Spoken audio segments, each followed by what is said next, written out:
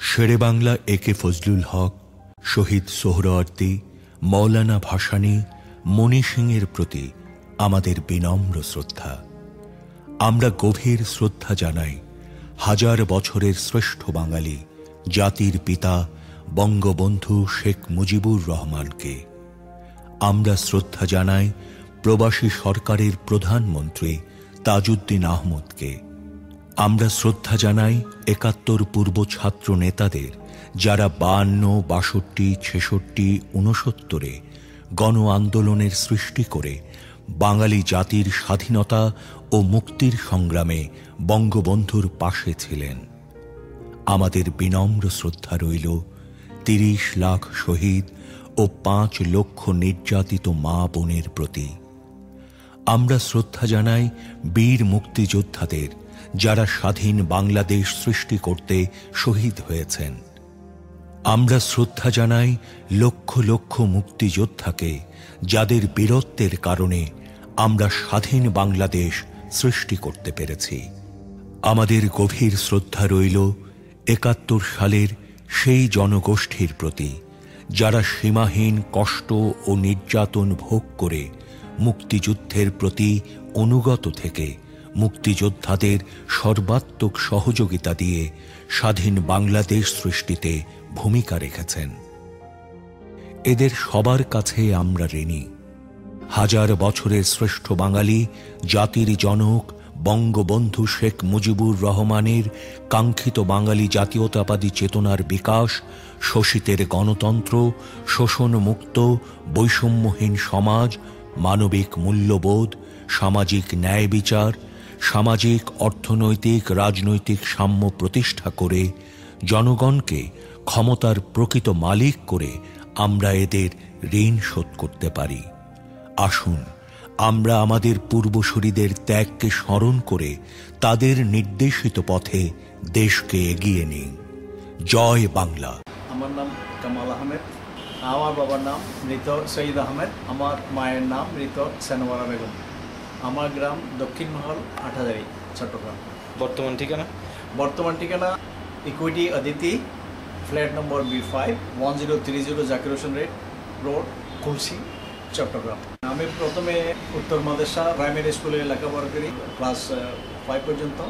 তারপর ওখান থেকে আমি মাদেশা হাই স্কুলে যাই। ওখান থেকে আমার মাদেশা হাই স্কুলে ক্লাস সেভেন পর্যন্ত পড়ার পর আমি গরদুরা হাই স্কুলে চলে আসি। গলদুরা হাই স্কুল আমি মেট্রিক পর্যন্ত পড়ি ওখান থেকে আমি মেট্রিক পাস করি ওই স্কুল থেকে। আমি ব্যক্তিগত জীবনে ফুটবল খুব ভালোবাসতাম। আমি ফুটবলও খুব ভালো প্লেয়ার ছিলাম এবং আমি অ্যাথলেটিক্সও খুব ভালো ছিলাম। তখন আমাদের ওখানকার হাটহাজারি থানার ইয়ে ছিল এমপি ছিল জনাব আব্দুল ওহাব। তো ওনাকে ফলো করতাম। ওনার মিটিং মিছিল আমরা যেতাম। তখন তো সিক্সটিনারে তো অসহযোগ আন্দোলন চলতেছিল তখন। এবং ছোটোখাটো মিটিংয়ে স্কুল লেভেলে আমি বক্তৃতাও করতাম। আমার সাথে আমার বন্ধুরা আছে মাও মারা গেছে অনেকেই। এই সুলতান আলম মৃত। ও কৃষক লীগের থানার সভাপতি ছিল। আমার বন্ধু ছিল আজিজ, মোহাম্মদ আজিজ, এই গরদুয়ারা দিদাউল আলম গরদুয়ারা ওরা সবাই আমরা রাজনীতির মধ্যে, আমরা সবাই ছাত্রলীগের রাজনীতি করতাম। বেসিক্যালি তখন আমাদের হাই স্কুলে ছাত্রলীগ ছাড়া তখন আর কেউ ছিল না। পরে আমি চট্টগ্রাম পলিটেকনিক্যাল ইনস্টিটিউটে ভর্তি হই। হাই স্কুল থেকে আমি তখন ছাত্রলীগ করতাম। এটা হচ্ছে নাইনটিন সিক্সটি সিক্সটি নাইনের মধ্যে। চট্টগ্রাম পলিটেকনিক আসলাম। ওখানে তো আমার ফুল একদম ছাত্রলীগের মধ্যে রাজনীতি শুরু করে দিলাম। ওখানে সংসদের মধ্যে গেম সেক্রেটারি ছিলাম। সংসদের সভাপতি ছিল জনাব ইঞ্জিনিয়ার বীর মুক্তিযোদ্ধা হারুন, আবদুল্লাহ আল হারুন। আমাদের লিডার ছিল হারুন ভাই আশিকুল্লাহ এই তারপরে একরাম ভাই বন্ধু দেওয়ান মাকসুদ আরও আরও অনেকে ছিল লেখাপড়া করতাম, তারপরে রাজনীতিও চলতো হ্যাঁ। আমাদের পলিটিক্যাল পাশেই বিহারি কলোনি আছে কলসি কলোনি, তারপরে একদম রিসেন্টটা হলো কলসি, তারপর হলো পার্কলি ওয়ারলেস কলোনি। তো আমাদের কলসি কলোনি যেহেতু আমাদের একদম ক্লোজ আমাদের ছেলেরা বেশিরভাগ ওখানে সকালে আমরা মানে ব্রেকফাস্ট ব্রেকফাস্টের জন্য যেতাম। তো একদিন কি হলো ওই দিন দিনটা আমি একজ্যাক্ট বলতে পারতেছি না। তা একদম সকালে আমাদের একটা ছিল ওখানে, তখন খুব রাজনৈতিকভাবে ওদের সাথে আমাদের ইয়া চলতেছিল আর কি খুব হ্যাঁ। তো আমাদের একটা ছেলে ওখানে কুলসি, ওদের ওখানে কলোনিতে গিয়ে নাস্তা করার জন্য নর্মালি যায় ওই দিনও গেল। তো ওখানে মনে ওর সাথে বাগবিদনটা হয়েছে, তারপর ওকে ওখানে গুলি করা হলো। যখন এটা খবরটা আমরা পেলাম, তখন আমরা একদম এই কলেজের আমরা সবাই আমাদের নেতৃবৃন্দরা যারা আছেন, সবাই ডাক দিল যে আমাদের এটা ইয়া করতে হবে, পাকিস্তানিদের বিরুদ্ধে ইয়া করতে হবে, আর এটির বিরুদ্ধে একটা প্রোটেস্ট করতে হবে। তারপর আমরা ওখানে বিহারিদের কলোনিতে ওদের সাথে গেলাম, মারপিট করলাম। ওখানে খুলশিতে তখন এরা এরা তো বিহারি, ওদের কাছে অস্ত্র ছিল, আমাদের তো কোনো অস্ত্র ছিল না। তখন আমাদেরকে হারুন ভাই বললেন যে, ঠিক আছে তোমরা সবাই যার যার, যা কিছু আমরা, যে কিছু বানাতে পারিস হ্যাঁ ওই অ্যারো বলেন, এরকম বলেন, আমরা এক্স্যাক্টলি সেম আমাদের বড় প্র্যাকটিক্যাল সবগুলো খুলে দেওয়া হলো। তখন আমরা যা যে ইচ্ছা মতো আমরা মেশিন অপারেট করে বানালাম এই যে তীরের মতো আর কি বর্ষার মতো। তারপর আমরা ওইটা ওখানে প্রস্তুতি নিলাম। তখন একদিন আমাদেরকে জানা হলো যে আমার মনে হয় চট্টগ্রাম আওয়ামী লীগের তরফ থেকে একটা ইনফরমেশন দিলে যে, পাকিস্তানি আর্মিরা মানে আমাদেরকে ঘেরাও করবে। তোমরা হল ছেড়ে চলে যাও। এ তার হোস্টেল ব্যাকেট করে বাড়ি চলে গেলাম আর কি। বাড়িতে গিয়ে বন্ধু বান্ধব যারা আছে, সবাইকে একত্র করে আমরা মহল্লা মহল্লা আমরা কমিটি করতেছি, গ্রামে গ্রামে কমিটি করতেছি। আমার মনে আছে এখন আমরা, আমাদের গ্রামের ছয়টা মহল্লা আমরা এরকম মানে ইয়া করেছিলাম কমিটি করেছিলাম। যদি কোনো কেউ আমার পাকিস্তানি পন্থীরা যারা আছে, রাজা তখন তো হয়নি তবু ওদের সাপোর্টার ছিল। ওরা যদি ওদের মদতে যে আমাদেরকে আক্রমণ করে, তাহলে আমরা এটা প্রতিহত প্রতিহত করব। যখন ক্যান্টনমেন্ট ক্যান্টনমেন্টে ফাইটিং চলতেছিল, তখন আমি আমার বড় মামা ছিলেন মফিজুর রহমান, ওনার গ্রাম হচ্ছে ভবানীপুর হাটাজারি হ্যাঁ? এখন মৃত। উনি আর আমি একদম গ্রামগঞ্জে গিয়ে তারপর আসতে লাই মাথায় নিয়ে রুটি সাপ্লাই করে দিয়ে আসতাম তাদেরকে। তারপরে দেখলাম যে যখন ক্যান্টনমেন্ট ফেল করল, তখন আমরা আমার গ্রামেরই, আমার পাড়ারই চারজন বন্ধু মিলে প্ল্যান করলাম যে আমরা ইন্ডিয়া চলে যাব। তারপরে দিনক্ষণ ঠিক করলাম। কোন দিন যাব? আমরা চার বন্ধু। আমরা আমরা আমরা দক্ষিণ মেঘালয়ের একই একই পাড়ার তিনজন আর আমাদের সাইডের গ্রাম উত্তর মাদেশার একজন, আমরা চারজন ছিলাম। আমি আমি কামাল, আমার বন্ধু আনোয়ার মিয়া, আমার বাড়ির আমার চাচা মহিবুল্লাহ, মৃত মহিবুল্লাহ আর আমার এক বন্ধু মৃত আবুল কালাম, এই চারজন। যেদিন আমরা ডেট ঠিক করি এপ্রিল ফার্স্ট উইকে হবে। তো আমি দুইটা লুঙ্গি নিলাম পড়লাম দুইটা লুঙ্গি, একটা শার্ট তো আমার মায়ের একটা ব্যাংক আছে, ওই নর্মালি মেয়েদের যে ব্যাংক থাকে আর কি সেভিংস ব্যাংক হ্যাঁ? ওটার থেকে আমি বিশটা টাকা নিয়েছি মাত্র। আমরা চারজন আর আমাদের গাড়িটা। আমরা বেরিয়ে গিয়ে ওখান থেকে দক্ষিণ বেঙ্গল থেকে সুদা পাড়া দিলাম ঘরদুয়ারা হয়ে আমরা হাড়াদারি থেকে ফটেশ্বরী মাতিরাট বলে মাতপুর থেকে শুরু করে কাঞ্চননগরে গিয়ে আমরা সেই দিন রাত্রে বিশ্রাম নিলাম। সেই দিন রাত্রে ওখানে রাতটা কাটালাম। তারপর দিন আর্লি মর্নিং একদম চার পাঁচটার দিকে আমরা ওখান থেকে জার্নি শুরু করলাম। হাঁটতে হাঁটতে হাঁটতে হাঁটতে একদম ওই রামগড়ে পাহাড়ে গিয়ে পৌঁছলাম। তখন আমাদের এমন অবস্থা হয়েছিল, আমাদের যে সাথী আনোয়ার ছিল, আনোয়ার বলতেছে, আনোয়ার মিয়া, ও পাটা ফুলে, একটা পা ফুলে এত বড় হয়ে গেছিল। তারপর আমরা চারজন ওকে কোনো কোনো কষ্ট করে মানে তুলে তুলে তুলে আস্তে আস্তে আস্তে আস্তে এই হাঁটতে হাঁটতে হাঁটতে আমরা একদম রামগড় দিয়ে সাকমা রাজার বাড়ির সামনে দিয়ে আমরা বর্ডারে গিয়ে বসলাম। তখন সন্ধ্যা হয়ে গেছে। মানে আমাদের ওপারে হচ্ছে সাবরুম। বোর্ড দিয়ে আমরা সাবরুমে পৌঁছলাম। এস এম ইসুফ ভাই, রোশনি ভাই, তারপর আমাদের হাটাজারি আব্দুল হক মিয়া, ওনারা আমাদেরকে রিসিভ করে শরণার্থী ক্যাম্পে নিয়ে গেলো ওখানে, হরিণেতে। তো ওখানে আমরা কয়েকদিন ছিলাম। তো ওখান থেকে একদিন সকালে একটা মেসেজ লাগল দশটার সময় যে ইন্ডিয়ান নেভিরা আসতেছে কিছু নেভাল কমান্ডো রিক্রুট করবে ওখান থেকে। যদি কেউ ইন্টারেস্টেড থাকো, তাহলে তোমরা আসতে পারো। তো আমরা চার, চারজন যে একসাথে গেছি, আমরা ঠিক আছে, আমরা নেভাল কমান্ডোতে যাব। অফিসাররা আসলো, যারা যারা ইন্টারেস্টেড তাদেরকে ডাকলো। তো আমরা গেলাম ওখানে একটা স্কেল আছে হাইট স্কেল মিলিটারিতে যেভাবে চেক করা হয় আর কি একটা হাইট হাইট কত একটা স্কেল থাকে। তো বলে এক একজনকে স্কেলের এগেস্টে দ্বারা দাঁড় করা আছে দেখতেছে হাইট কত। আর ফিজিক বরাবর আছে কিনা। একটা, একে একে সবাই ওই তিন বন্ধু সিলেক্ট হয়ে গেল। যখন আমি গেলাম আমাকে বলতেছে বাবা তুমি অনেক ছোট হ্যাঁ? তোমাকে আমি অন্য ট্রেনিংয়ে পাঠাবো। আমার যে, না স্যার, আমি এটাতে যাব। যেহেতু আমরা একসাথে আসি আমি এটাতে যাব। বলছে, এটা পারবে না তুমি তুমি অনেক ছোট। আমার হাইটে একটু কম ছিল তারপর আমার বলে, তুমি একটু বসো। হ্যাঁ তো আমি গিয়ে বসলাম স্যারে সবাই সিলেক্ট হয়ে গেলো। সবার পর ওরা ক্লোজ করার আগে আমি আবার অ্যাপ্রোচ করলাম ওনার কাছে। তাহলে স্যার আমাকে কিছু বললেন না? বলে তুমি এখন বসে আছো? আমি বললাম তো স্যার, আমি তো, আপনি বলছেন আমাকে বসে থাকার জন্য আমি বসে আছি। আমাকে প্রশ্ন করল যে তোমার বাড়ি কোথায়? আমি স্যার, আমার বাড়ি চট্টগ্রামে। এই যখন ওকে চট্টগ্রাম বললাম, তো আমাকে জিজ্ঞেস করলেন যে, তুমি চিটাং পোর্টসের মধ্যে ভালো জানো? হ্যাঁ আমি জানি, স্যার। বলো ওখানে একটা তখনকার আমলে আর কি, একটা যেটি ছিল, একটা অয়েল কোম্পানি ছিল আমেরিকান অয়েল কোম্পানি এটা এসও ছিল, এটা বর্তমানে মনে হয় পদ্মা অয়েল কোম্পানি হ্যাঁ? তো আমাকে বলল যে তুমি এজেন্টিটা কোথায় জানো? বলে স্যার হ্যাঁ আমি জানি এটা দেখেছি আমি। তো খুব খুব খুশি হয়ে গেল। আমার চেস্টের মধ্যে একটা আমার এখন মনে আছে ধম করে মারছে একটা জোরে। বলতে পারবে তো? আমি বলছি, স্যার আমি পারব। তো মেডিকেল সবাই চেক হয়ে গেলো মেডিকেল হওয়ার পর আমাদেরকে বলল যে ঠিক আছে তোমরা ক্যাম্পে ফিরে যাও। তারপরে বলল যে তোমাদেরকে জানানো হবে কবে তোমরা এখান থেকে মুভ করবে হ্যাঁ তোমাদেরকে নিয়ে যাব। ওইটা বলা হবে। আমরা গেলাম ক্যাম্পে দুই দিন ছিলাম আমরা তারপরে আমি ট্রাক আসলো ট্রাক করে আমাদেরকে নিয়ে গেছে হরিণের থেকে আগরতলা। আগরতলা নিয়ে আমাদের একটা সেপারেট একটা ক্যাম্পের মধ্যে রাখছে। কয়েকদিন ওখানে ছিলাম, তারপর আমাদেরকে। আগরতলা থেকে আমাদেরকে আবার ট্রাকে করে আগরতলা পাশে একটা ইয়া ছিল রেল স্টেশন ছিল, ওটার নাম হচ্ছে ধর্মতলা। ট্রেনে উঠলাম। ওখান থেকে ট্রেনে আমাদেরকে আগরতলা দিয়ে, আসাম দিয়ে আমাদেরকে নিয়ে যাওয়া হলো। অনেক লম্বা রুট কিন্তু হ্যাঁ ওটা। নিয়ে যাওয়া হলো আমাদেরকে। দুই দিন সময় লেগেছে, আমরা গিয়ে পৌঁছলাম কলকাতা হাওড়া স্টেশনে। এখানে ইন্ডিয়ান মিলিটারি আমাদেরকে রিসিভ করল। তখন একটা ইনসিডেন্ট আমি বলি হাওড়া স্টেশনের মধ্যে হঠাৎ করে আমার বাড়ির বাড়ির কথা মনে পড়ে গেছে, আমার মা বাবার কথা, ভাইয়ের কথা ভাই বোনদের কথা মনে পড়ে গেল। তখন আমার আমি খুব কান্না করতেছিলাম এরকম স্টেশনে, হাওড়া স্টেশনের মধ্যে। অনেক লোক জড়িত হয়ে গেছে ওখানে। ওদের কী হলো কী হলো? এই লোকটা কাঁদতেছে কেন? তবে তো ওরা পাশের লোকেরা বলতেছে, এরা সব মুক্তি পায়নি। দেশ থেকে আসছে, হয়তো মানে দেশের কথা মনে পড়ছে, মনে করে কাঁদতেছে। অ্যাকচুয়ালি রিয়েলি ওটাই হয়েছিল। তারপর ওখান থেকে আমাদেরকে খাওয়া টাওয়ার পরে আবার ওই ট্রাক করে নিয়ে যাওয়া হলো পলাশিতে। তখন বেলা তিনটে, ওই দিনেই, ওই দিনে আমাদেরকে আবার টেস্ট নিল আমাদেরকে নিয়ে যাওয়া হলো ভাগীরথী নদী ভাগীরথী নদী আছে, গঙ্গার, একটা শাখা নদী, ভাগীরথী নদী ওটা। নদীয়ার মুর্শিদাবাদের মধ্যখানে। ওখানে আবার আমাদেরকে সুইমিং টেস্ট নিল যে আমরা কীরকম সুইমিং পারি কিনা। আর আমাদেরকে বলে দেওয়া হলো যে অপারেশনে সুইসাইড সুইসাইড স্কোয়াড মানে তোমাদের মৃত্যু কোনো গ্যারান্টি নেই। তোমরা যাওয়ার সময় মরে যেতে পারো অপারেশনের সময় মরে যেতে পারো। তারপর এখানে আবার ওরা বলে দিল যে যে যারা ফ্যামিলির একমাত্র উপার্জনকারী আছো বা একমাত্র সন্তান আছো, তারা যদি চাও, তাহলে মানে তোমরা এখন বেরিয়ে যেতে পারো। ওখান থেকেও অনেক লোক, সব প্রণীতভাবে বেরিয়ে গেল, তো আমরা থেকে গেলাম তারপরে আমাদেরকে নিয়ে যাওয়া হলো, নিয়ে ক্যাম্পে আমাদেরকে দেওয়া হলো।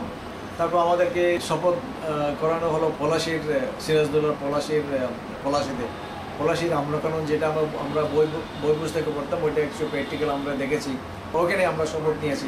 ট্রেঞ্চ কেটে ওখানে বড় বড় ডেক ডেক আর কি ডেক রেখে কাটা কাটা বাবলা গাছ ওগুলোকেই আমরা কেটে ওই এনে ট্রান্সের ভিতরে ঢেলে দিতাম। তার ডালটাকে দিয়ে আগুন জ্বালিয়ে দিয়ে দুয়ার মধ্যে আমাদের কিছুটা পাকত ওই কিছুটা আমরা খেতাম হ্যাঁ? এটা অনেক দিন খেয়েছি আমরা। তারপর আস্তে আস্তে আস্তে আস্তে সুযোগ সুবিধা একটু ইমপ্রুভ হচ্ছে। আমাদের ট্রেনিং তো চলতেছে অলরেডি সকালে আমরা প্রথমে আমরা পিটি করতাম ফিজিক্যাল ট্রেনিং এটা করা তো ইন্ডিয়ান আর্ম ফোর্স তারপর ওখান থেকে এসে আমরা ফ্রেশ আপ হয়ে টেন্টের চারপাশে ক্লিন ক্লিন ক্লিন করে ব্রেকফাস্ট করে চলে যেতাম সাঁতারের জন্য সুইমিংয়ের জন্য বাগিরথী নদীতে। তো আমাদের সাঁতারের জন্য, আমাদেরকে সুইমিং করার জন্য ইয়া দিয়েছিল ফিন্স ওই যেগুলো পায়ে লাগে না ওগুলোকে ফিন্স বলে। ফিন্স দিয়ে ট্রেনিং করতেছি। সকালে সকালে দুই তিন ঘণ্টা ট্রেনিং পর আবার আসতাম, এসে আমরা কিছু ওই রিফ্রেশমেন্ট জুস টুস খেয়ে আবার আমরা মানে সুইমিংয়ে যেতাম। তারপর দুপুরে এসে ওই খাতে, খেতাম। খেয়ে রেস্ট নাই আমাদের। তখন কিন্তু বর্ষাকাল। মে, জুন, জুলাই এগুলো বর্ষাকাল চলতেছে। কতগুলো ম্যাপ রিডিং করে আর কতগুলো ট্রেনিং ছিল। তারপর গ্যারেন্ট কীভাবে মারে, ওই ট্রেনিং করেছি। তারপরে মানে স্ট্যান্ড গান চালানো কীভাবে হ্যাঁ ওগুলো শিখেছি। ওগুলো আমাদের মেইন হচ্ছে প্রিন্ট না ওইটা শিখতেছি মানে আমাদের সাইড ওইটা প্রোডাকশনের জন্য। যে বাচ্চা যদি আমরা যদি অপারেশনে যাওয়ার সময় কারোর দ্বারা যদি আক্রান্ত হই হ্যাঁ, তাহলে আমরা যাতে নিজেকে সেভ করতে পারি। এই সাঁতার কাটতে কাটতে এগুলো চলতে লাগল।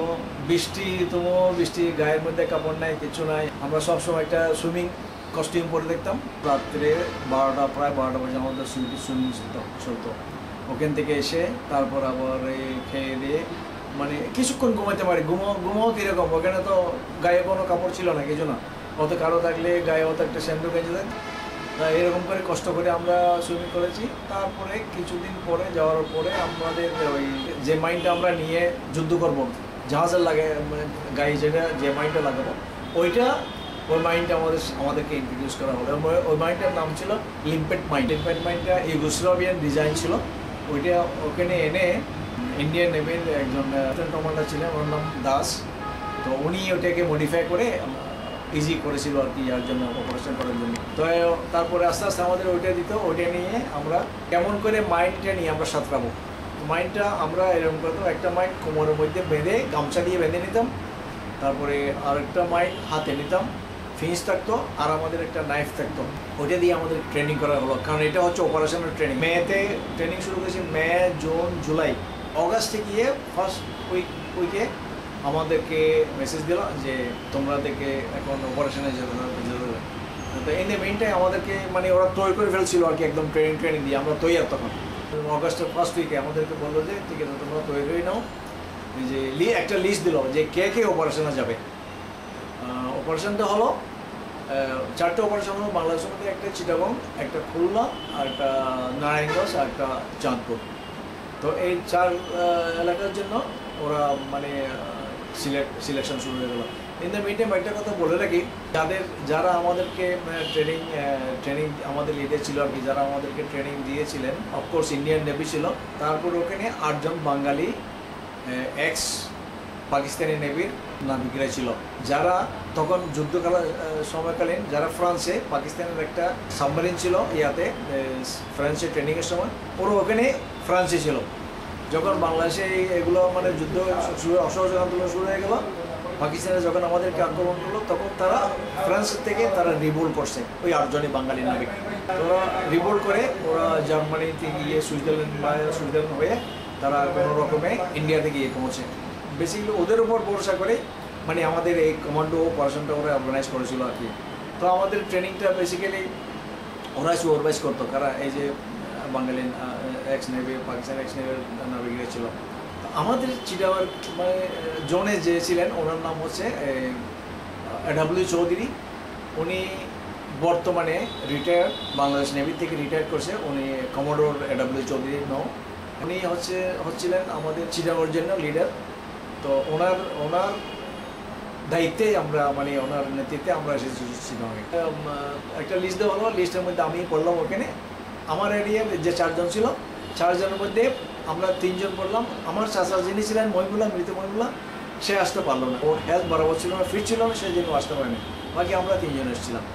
ছিটানোর জন্য আমরা ষাট জনের মতো আমরা সিলেক্ট হয়ে গেলাম। তো আমাদের নেতৃত্ব বললাম ডাব্লু চৌধুরী আর সেকেন্ড ইন কমান্ড যিনি ছিলেন ওনার রেজিস্ট্যান্ট যিনি ছিলেন, ওনার নাম হচ্ছে ডাক্তার শাহ আলম বিদুত্তম চিরাং মেডিকেল কলেজের আমাদের যে অ্যামোনেশনগুলো আছে মাইনগুলো আছে ফিন্সগুলো আছে, তারপরে ওই যে ডেগার মানে চাকুগুলো আছে, এগুলো এগুলো ওরা নিয়ে যাবে হ্যাঁ?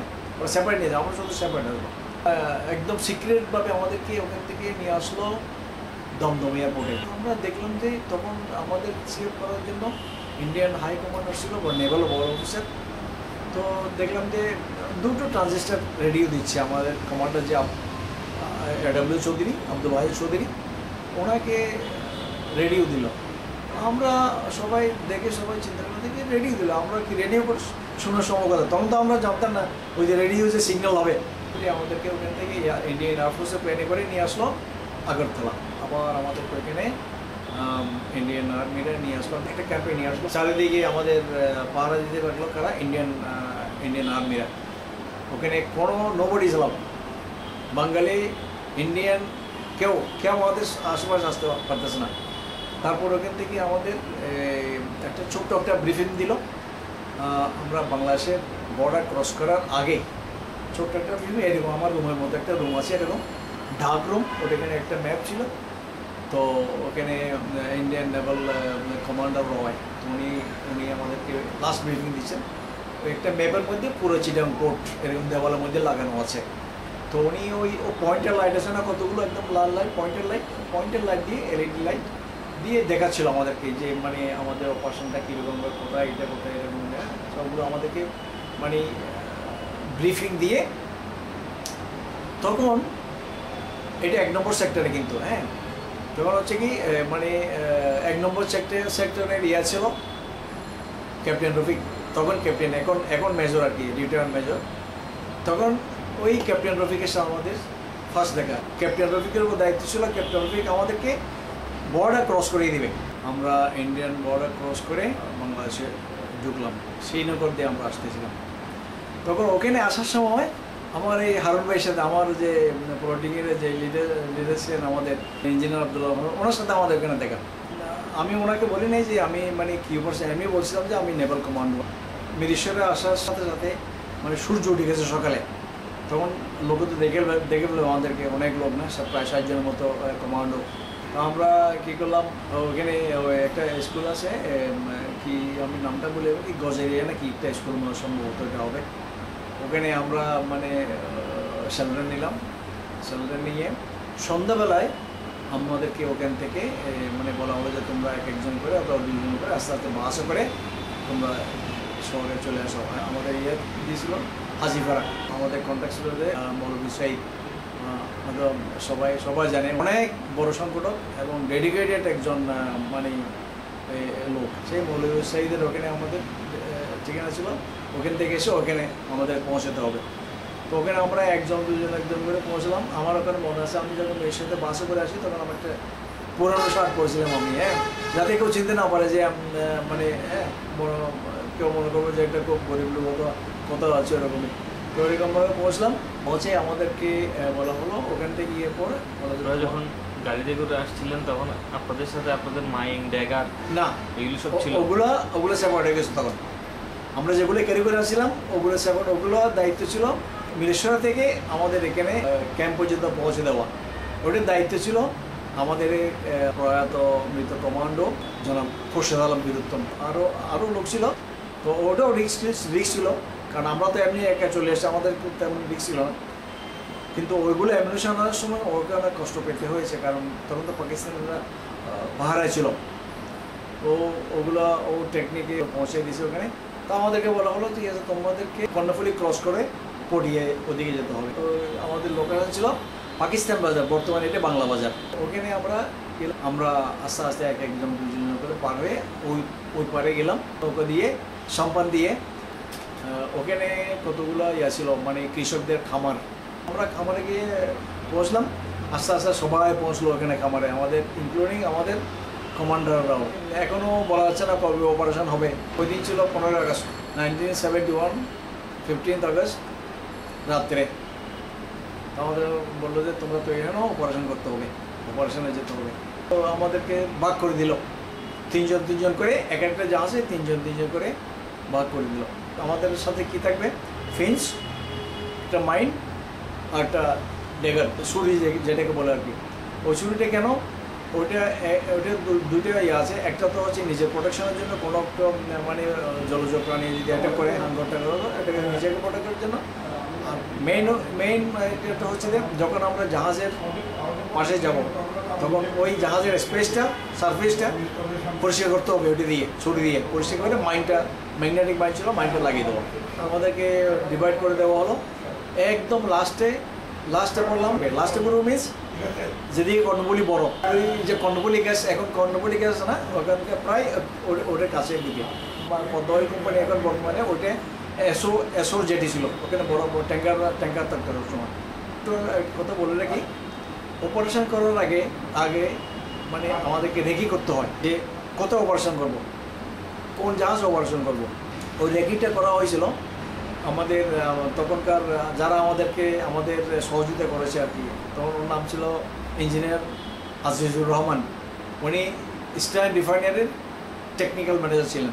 বর্তমানে উনি- আবুধাবিতে কর্মরত আছেন। উনি ওনার ওয়াইফ আমাদের কমান্ডো ওনারা গিয়ে সন্ধ্যাবেলা দেখে দেখে করে আসছে। মানে জাহাজ কোন জাহাজটা কোথায়, কোন পজিশনে আছে। কারণ ওইটাই তো আমাদের ফিডব্যাক ওই যে আমাদের দমদম এয়ারপোর্টে যে রেডিও দুইটা ট্রানজিস্টার রেডিও দেওয়া হয়েছিল ওইটার ফাংশন হচ্ছে। আমাদের অপারেশনটা হবে দুইটা গানের উপর। একটা গান পঙ্কজ মল্লিকের, এটা অপারেশন ওই গানটার মানে ওইটার কথা হলো যে আমি তোমার জন্য গান গিয়েছিলাম, পঙ্কজ মল্লিক আরটা, ওই গানটা আমার মনে হয় আইদার কি সন্ধ্যা মুখার্জি না হেমন্ত মুখোপাধ্যায়। একটা গান ছিল যে আমার পুতুল যাবে আজকে শ্বশুর বাড়ি। তো ওইটা হচ্ছে অপারেশন সং মানে আমরা সমুদ্রে নেমে যেতে হবে তখন। যখন প্রথম গানটা বাজালো, তখন আমরা জানি না, কিন্তু আমাদেরকে বলা হয় গেট রেডি আমরা রেডি হয়ে যার যার জায়গায় চলে গেলাম। তারপরে যখন ওই অপারেশন সংটা বাজানো হলো, এটা বাজাচ্ছে থেকে কলকাতা বেতার থেকে।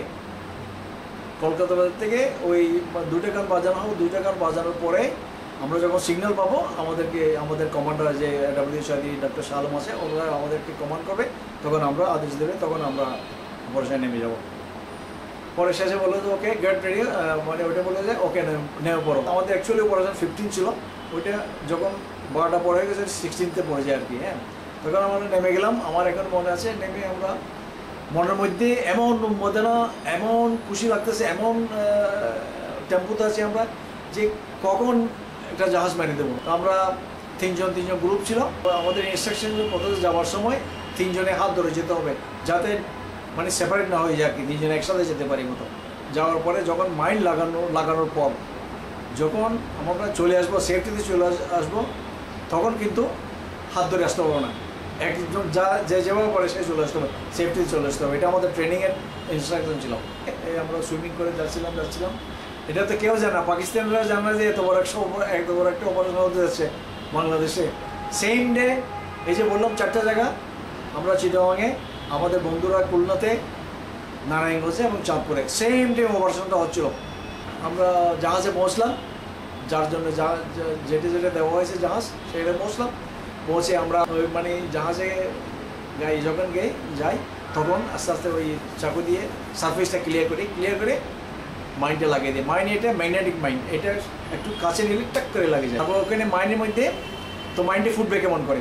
তো মাইন্ডের মধ্যে ওইটা ফুটার জন্য একটা সলিউবল প্লাগ আছে। ওই soluble প্লাগটা about thirty five minutes plus minus হ্যাঁ? ওটা থার্টি ফাইভ মিনিটস কেন দিছে? যে আমি এটা মাইন্ডটা লাগালাম, আমাকে সেফটি আসতে হবে না। এই সেফটির জন্য, আমাকে ফিরে আসার জন্য ওই থার্টি ফাইভ মিনিটস টাইমটা দেওয়া হলো। তো আমরা মাইন্ড লাগালাম প্লাগ খুললাম, আমরা যারা যারা ছিলাম, আমাদের গ্রুপ আমার গ্রুপে যারা ছিল, আমার এখন মনে আছে, আমার যখন কর্ণফুলির ওই পারে মাল লাগানোর পর আবার ওই পারে আমাদের চলে যেতে হয়েছে, যে পারে থেকে সাঁতার কেটেছি, ওই পারে গিয়ে আমরা পৌঁছি, আমার এখন মনে আছে যখন পাটা মাটির সাথে লাগছে এই মাইন এক ফুটে গেল, ধুম করে হ্যাঁ একটা পর একটা মাইন ফুটতেছে মানে মানে জল মানে মনে হচ্ছে যে কর্ণফুলি আকাশের উপর উঠে যাচ্ছে মনে হয়। আমরা অপারেশন তো মোস্ট সাকসেসফুল ওরা তারপর দেখলাম ওরা একদম গান বোর্ড নিয়ে শ্বাস লাইট দিয়ে গুলি করে একদম মানে ওই পারে গুলি করছে, দাঁড়ান গুলি করছে। তা আমাদের পাবি কোথায়? তখন তো আমরা কর্ণফুলি থেকে উঠে ওখানে ধান খেয়েছিল হ্যাঁ ধান খেলের মধ্যে আমরা নিজের সেফটির জন্য ওখানে উপরে পড়েছিলাম। আল্লাহর রহমতে আমরা কোনো একটা ক্যাজুয়ালিটি ছাড়াই কোনো মৃত্যু ছাড়া আমরা সব কমান্ডোগুলো অপারেশন করে, যার যার দায়িত্ব ছিল অপারেশন করে, আমরা ওই পারে গিয়ে নিরাপদে আমরা ফিরে গেছি। ওখান থেকে পটিয়ার গ্রামের মধ্যে নিয়ে যাওয়া সেফটির জন্য নিয়ে যাওয়া হলো। ওখানে আমরা একটা বাড়িতে ছিলাম, ওখানে আমাদের গাইডেরা ছিল। ওখানে ছিল রাত্রে।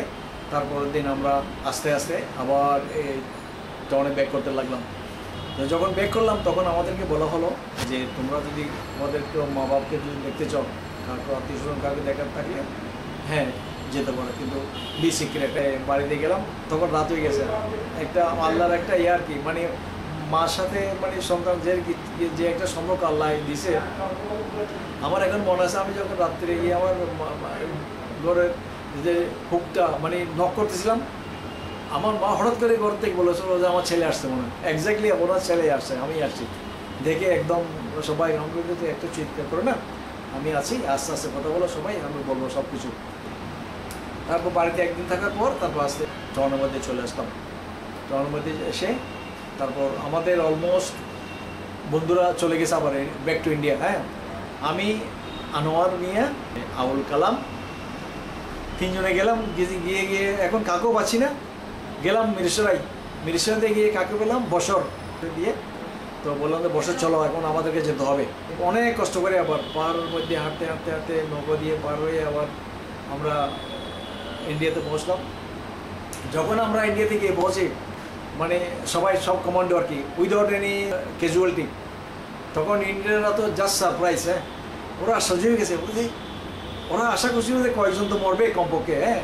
কিন্তু আমরা যে মানে কোনো ক্যাজুয়ালিটি ছাড়া যে মানে এত বড় একটা অপারেশন করে পৌঁছে গেলাম, এরা তো দেখে মানে খুশি হয়েছে এরা, কারণ ওদের একটা সাকসেস নেই এটা। তারপরে ওরা আশ্চর্য হয়ে গেছিল। এটার নাম ছিল যে jackpot operation jackpot operation jackpot এটা এমন একটা অপারেশন যেটায় মুক্তিযুদ্ধের টার্নিং পয়েন্ট ছিল। ফার্স্ট অপারেশন করে যখন আমরা ফিরে গেলাম, তখন আমাদের আগে যখন ট্রেনিং ছিল, যখন বিফোর অপারেশন আমাদেরকে তো ক্যাম্পের থেকে বাইরে দিয়ে দেয় নাই। কিন্তু আমরা এবার যখন গেলাম তখন ওরা এত খুশি হয়ে গেছে বলছে ঠিক আছে তোমরা এখন যাও সিনেমা দেখতে পারো শহরে গিয়ে রিলাক্স করো you have done great job ওরকম আমাদের অনেক অ্যাপ্রিসিয়েট করল। তারপরে আমাদেরকে ইনস্ট্রাক্টর বানিয়ে দিল যে তোমাদের পরে যারা আসছে ওদেরকে তোমরা ট্রেনিং দেবে তখন আমরা আমাদের কাজটা হলো আমরা ইনস্ট্রাক্টর হয়ে গেলাম। যারা নতুন আসছে তাদেরকে ট্রেনিং দেওয়া শুরু করে দিলাম। পলাশিতে পলাশিতে same same place same place একদম। তারপরে আমরা ট্রেনিং ট্রেনিং দিতাম। সেকেন্ড অপারেশন আমাদেরকে বলল যে, এখন তোমাদেরকে অপারেশন দাও দিস ইজ আমাদেরকে বলে দেওয়া হলো this is the final operation আর তোমাদের আসতে হবে না। তখন আমরা আবার এই, ওই সেম ওয়েতে আবার আসলাম। তো তো এটাতে অন দ্য ওয়ে মানে আসার সময় ওখানে কলকাতাতে কল্যাণী বলে একটা জায়গা আছে। ওখানে আমরা দুদিন স্টে করলাম। কল্যাণীতে আমাদেরকে দুটো স্পিচ আমাদেরকে বক্তৃতা শোনানো একটা বঙ্গবন্ধু আর একটা নেতাজি সুভাষচন্দ্র রায়। এগুলো শুনলে তো মানে মানে আর কি টেম্পু বানিয়ে দেবো আর কি হ্যাঁ। তখন ওখান থেকে আমরা আবার চলে আসলাম এসে সেম রুট দিয়ে এসে আমরা আরেকটা কথা বলে কি এখানে আমাদের আরেকজন আমাদের সহযোগী ছিলেন আমাদের সরকারি আহ, সংগঠক। উনি আমাদেরকে অনেক সহায়তা করেছেন। উনি ওনার নাম হচ্ছে এই বদিউল আলম সীতাকুণ্ডুর এখন চেয়ারম্যান বর্তমানে হ্যাঁ? উনি ওনার অনেক ইয়ে ছিল হাত ছিল আমাদেরকে এখানে সেকেন্ড টাইম পৌঁছে দেওয়ার জন্য। তো আমরা সেকেন্ড টাইম এসে এই যে কোর্সেদ আছে না, আমার বন্ধু যে মারা গেল কমান্ডো বীরপতি ওর বাসাতে আমরা অলমোস্ট ছিলাম হ্যাঁ। তো এখান থেকে আবার আমরা সেই অপারেশনে গেছি ওই পরে। এবার গিয়ে আমরা আমরা শেল্টার নিলাম, এই কালামিয়া সদাগর। আমার নাম মনে আছে, কালামিয়া সদাগর। আমাদের ওখানে সহযোগিতা করছিল। এগুলো ওই ওই খণ্ডকুল রবিবারের কথা বলতেছি। আমাদেরকে তখন সহযোগিতা করছিল। নাম ভুলে গেছে, আমি এখন বলতে পারতেছি না। কালামিয়া সদাগর কিন্তু আমার মনে আছে। ওখানে থাকতাম, থেকে আমাদেরকে একদিন বলল যে ওটা কী করা হলো? যে আমাদের অপারেশন করতে হবে। তখন সিক্স ডিসেম্বর সেই দিন এয়ারফোর্সরা বম্বে করছি যেটা করে তো আমাদের অপারেশন ছিল।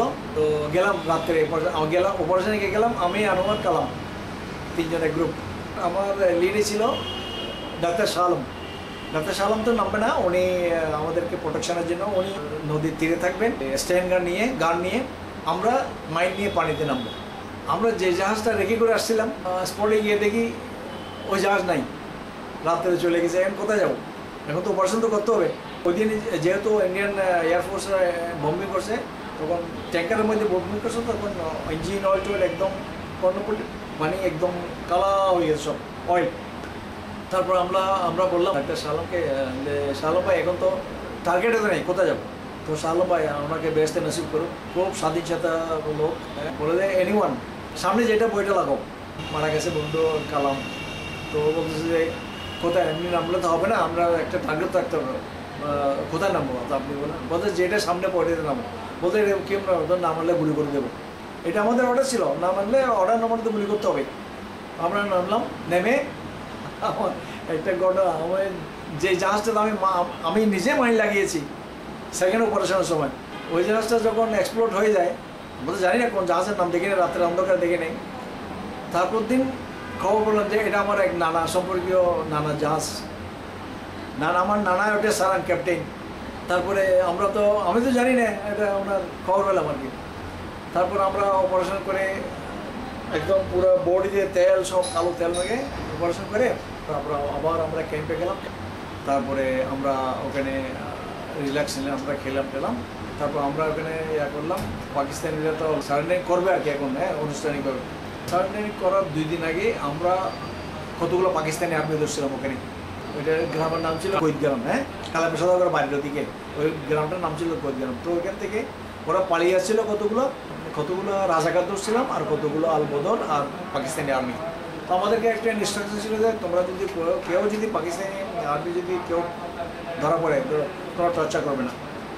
তো আমরা, আমার কোনো মনে আছে, রাজাকার যারা রয়েছিলাম, তাদেরকে আমরা আমরা তাদেরকে একটু টর্চার তো হয়েছে অলরেডি তো ওনাদেরকে শুধু মিলিয়ে আর যারা পাকিস্তানি আর্মি ছিল ম্যাক্সিমাম পাঠান আর দুই তিনজন পাঞ্জাবি ছিল।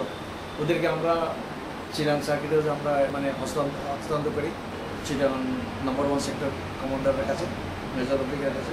তারপর ওখান থেকে আমরা স্টেডিয়ামের দক্ষিণ পাশে নেভাল হাউস আছে এখন যে নেভির অফিসার থাকে, ওইটি ওখানে আমাদের আমরা উঠলাম ওখানে আমরা অনেক দিন ছিলাম প্রায় তিন চার মাস ছিলাম আমরা। খান্না সাহেব ছিলেন তখনকার আওয়ামী লীগ নেতা, উনি উনি অনেক সহযোগিতা করছেন আমাদেরকে। আমাদেরকে সার্টিফিকেট দিল, জেনারেল জি উসমানী তারপরে আমাদেরকে বলা হলো, ঠিক আছে, তোমরা এখন চলে যাও। তখন আমি ওখান থেকে পলিটেকনিক নিয়ে মানে চট মানে চট্টগ্রাম পলিটেকনিকে চলে গেলাম। ওখানে ইয়াতে থাকলাম হোস্টেলে থাকতাম। মসুর যেমন মামার বন্ধু মকসুদ হ্যাঁ আমরা তো সবাই একসাথেই হ্যাঁ গ্রুপে ছিলাম। প্রায় প্রায় পাঁচ ছ মাস পর আমি যখন বাড়ি গেছি, তো আমার যে জাহাজ মারছিলাম, আমার নানার জাহাজ, ওই পার্টিতে তো উনি- আমাকে আমাকে তো বলে শালা, আমারও আমার জাহাজটা মেরে দিলি। তো আমাদের কেন না- না আপনি কি আপনি কি অসন্তুষ্ট ছিলেন? বলে যে, না আমি খুব খুশি হয়েছি। তো আল্লাহ রহমত কেউ মরে নাই লোক মরে নাই, কিন্তু আমার সব ওখানে সব পুরো ফুড গ্রেন ছিল। বলতে ওগুলো চলে বলতে ঠিক আছে, ওগুলো অসুবিধা নেই। তোমরা যে কাজ করো খুব ভালো কাজ করো। তখন আরও খুশি লাগল। তখন আমি ডিপ্লোমা পাস করার পরে এখানে চাকরি করি নাই। বাংলাদেশে কোনো চাকরি নেই, আমি দুবাইতে চলে গেছি হ্যাঁ। আমার এক বন্ধু ইয়ার আমাকে ভিসার অ্যারেঞ্জমেন্ট করছিল। তো ওখানে গিয়ে আমি এক বছর একটা আরবি কোম্পানিতে চাকরি করেছি। তারপর ওখান থেকে ছেড়ে আমি একটা জাপানিজ কোম্পানি সেটা ship building ship building company বড় কোম্পানি অনেক বড় কোম্পানি তো ওখানে আমি জয়েন করলাম। তো আমি জয়েন করেছিলাম অ্যাজ এ ইঞ্জিনিয়ার ওই কোম্পানিতে আমি পৌঁছতে পৌঁছতে ওটাকে পৌঁছেছি general manager for marketing commercial and marketing আমার বস ছিল একটা Singaporean Chinese very very young chap আমি ওকে আমার স্টোরি বলেছি। বললাম যে আমি এরকম একটা ফ্রিডম ফাইটার যে আমি এরকম কমান্ড হয়ে তো অনেক অনেক বিমত হয়েছিল "হ্যাঁ, তুমি এর কাজ করছ? তো আমাকে অনেক শ্রদ্ধা করতো ওই কোম্পানিতে থাকাকালীন। আমি অনেক কান্ট্রিতে ভিজিট করেছি এজ এ যেহেতু আমার মার্কেটিংয়ের কাজ। তো আমি যেখানে যেতাম তো আমাকে ইন্ট্রোডিউস করে দিত ইজ ইজ এ কমান্ডো হ্যাঁ হ্যাঁ ও বাংলাদেশের একজন ফ্রিডম ফাইটার আমাকে ইন্ট্রোডিউস করে দিত এরকম। He's a freedom fighter and he was a commando and uh, uh, ship uh, in 1971. তখন আমার এত ভালো লাগতো এত ভালো লাগতো যে আমি এত গর্ব বোধ করতাম যে আজকে একজন অন্য দেশের লোক আমাকে প্রশংসা করতেছে। তিরিশ লক্ষ শহীদ ও পাঁচ লক্ষ নির্যাতিত মা বোনের সম্ভ্রমের বিনিময়ে আমরা স্বাধীন। লক্ষ লক্ষ মুক্তিযোদ্ধা বীরত্বের সাথে যুদ্ধ করেছে বলে আমরা স্বাধীন। হাজার হাজার যোদ্ধা বীরত্বের সাথে যুদ্ধ করে শহীদ হয়েছে বলে আমরা স্বাধীন। কোটি কোটি লোক আমাদের সমর্থন করতে গিয়ে অবর্ণনীয় দুঃখ কষ্ট সয়েছে বলেই আমরা স্বাধীন। হাজার বছরের শ্রেষ্ঠ বাঙালি, জাতির জনক, বঙ্গবন্ধু শেখ মুজিবুর রহমানের কাঙ্ক্ষিত বাঙালি জাতীয়তাবাদী চেতনার বিকাশ শোষিতের গণতন্ত্র, শোষণমুক্ত বৈষম্যহীন সমাজ, মানবিক মূল্যবোধ, সামাজিক ন্যায় বিচার, সামাজিক অর্থনৈতিক, রাজনৈতিক সাম্য প্রতিষ্ঠা করে জনগণকে ক্ষমতার প্রকৃত মালিক করে আমরা এদের ঋণ শোধ করতে পারি। আসুন, আমরা আমাদের পূর্বসূরিদের ত্যাগকে স্মরণ করে তাদের নির্দেশিত পথে দেশকে এগিয়ে নেই। জয় বাংলা।